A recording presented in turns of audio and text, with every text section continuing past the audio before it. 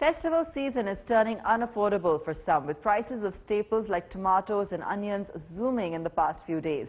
Unseasonal rainfall in Karnataka and Maharashtra have hurt supplies to mandis and prices have gone through the roof.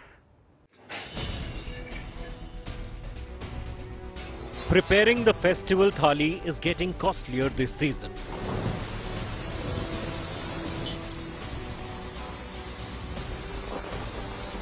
The reason? Unseasonal rains. The streets of Delhi were inundated in rainwater as the national capital witnessed 88 mm of rainfall in just 24 hours.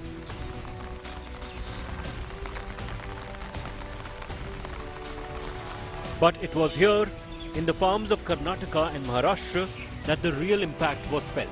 Onion and tomato crop destroyed by excess water in the fields. Tomato supplies from Maharashtra dipped on incessant rainfall in the state in the last fortnight of September. According to reports, supplies to Madanapalle wholesale market in Andhra Pradesh, one of the biggest in Asia, has plunged to about 20% of the normal.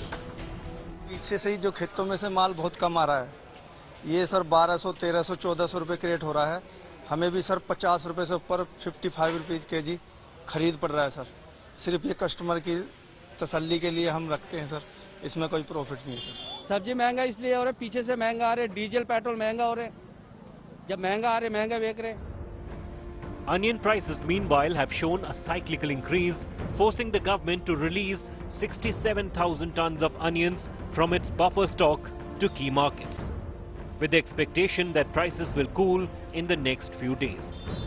However, traders and farmers are still crying hoarse over the steady rise in diesel prices, up more than 20 rupees a litre this year, which increases their transportation cost. Bureau Report, Business Today Television.